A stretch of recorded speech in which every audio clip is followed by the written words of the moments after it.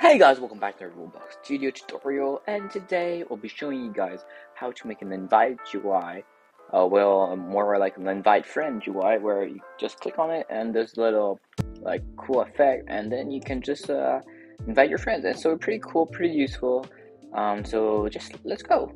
The first step is you getting uh, the model in description, uh, it's a free model, just get it, and then get it, uh, import it in, uh, in Roblox Studio uh, from your toolbox.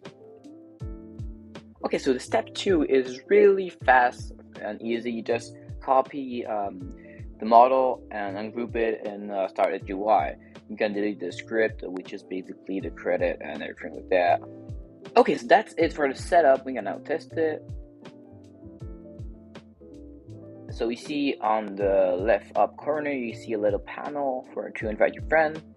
Um, so that's the regular uh, Roblox one. But if I click on X, there's like a little effect, which is pretty cool, and uh, add some uh, some something cool to your game.